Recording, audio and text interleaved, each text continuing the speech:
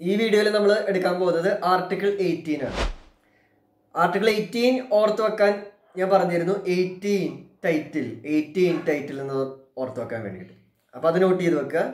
അതായത് article eighteen പറയുന്നത് abolition of titles അപ്പോൾ ഉദാഹരണം എന്താന്ന് പറഞ്ഞാൽ കുറെ ഹെറിഡിറ്ററി ടൈറ്റിൽസ് ഉണ്ടായിരുന്നു.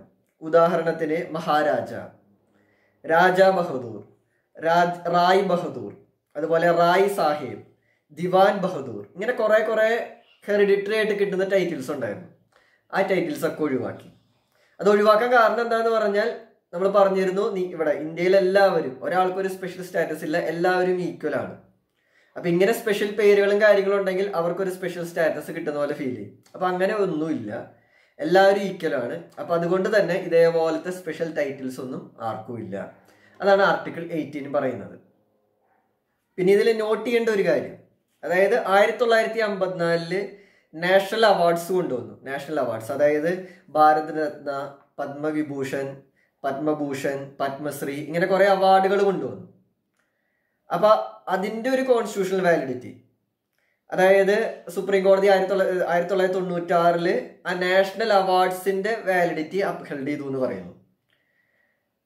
അതായത് അങ്ങനെ അവാർഡ് കൊടുക്കുന്നത് അങ്ങനെ ഒരു സ്പെഷ്യൽ ഒരു പേരാണല്ലോ പത്മശ്രീ എന്നൊക്കെ പറഞ്ഞൊരു സ്പെഷ്യൽ ഒരു പദവിയാണ് കൊടുക്കുന്നത്. അത് കൊടുക്കുന്നത് കൊണ്ട് കുഴപ്പമില്ല എന്ന് പറഞ്ഞു. പക്ഷെ ഒരിക്കലും സുപ്രീം കോടതി ഒരിക്കലും പറഞ്ഞു ഇങ്ങനത്തെ ഈ പത്മശ്രീ പത്മഭൂഷൺ പത്മഭൂഷൺ ഇതൊന്നും നമ്മുടെ പേരിന് മുന്നിൽ എന്ത് ചെയ്യാൻ പാടില്ല ചേർക്കാൻ പാടില്ല. ഇങ്ങനെ ഒരു അവാർഡ് കൊടുത്താലും അതൊന്നും ഒരിക്കലും നമ്മുടെ പേരിന് മുന്നിൽ ചേർക്കാൻ പാടില്ല എന്ന് കൂടി സുപ്രീം കോടതി പറഞ്ഞിരുന്നു. അപ്പൊ ഈ പറഞ്ഞ ഭാരത് രത്ന ഇങ്ങനത്തെ പത്മവിഭൂഷൺ പത്മഭൂഷൺ ഇതൊന്നും ആർട്ടിക്കിൾ എയ്റ്റീന്റെ ഉള്ളിൽ പറയുന്ന ടൈറ്റിൽസിൽ പെടില്ല. അത് നോട്ട് ചെയ്ത് വെക്കണം. അപ്പോൾ ഈ ഒരു കാര്യം ആർട്ടിക്കിൾ എയ്റ്റീൻ മാത്രമാണ് ഈ വീഡിയോയിൽ പറയുന്നത്. കാരണം അടുത്തത് ആർട്ടിക്കിൾ നയന്റീൻ കുറച്ച് ഡീറ്റെയിൽ ആയിട്ട് പറയാനുണ്ട്.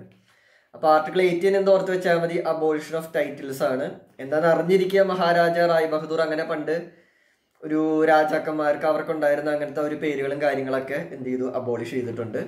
ഈ ആർട്ടി ഈ ടൈറ്റിൽ എന്ന് പറയുന്നതിന്റെ ഉള്ളിൽ ഒരിക്കലും എന്ത് പെടില്ല? ഭാരത് രത്ന അങ്ങനത്തെ അവാർഡുകൾ അത് വരില്ല. പക്ഷെ അറ്റ് ദ സെയിം ടൈം അതൊന്നും എന്ത് ചെയ്യാൻ പാടില്ല? നമ്മുടെ പേരിന്റെ മുന്നിൽ ഉപയോഗിക്കാനും കൂടി പാടില്ല. അത് നോട്ട് ചെയ്ത് വെക്കുക. അടുത്ത വീഡിയോയിൽ കാണാം. ബൈ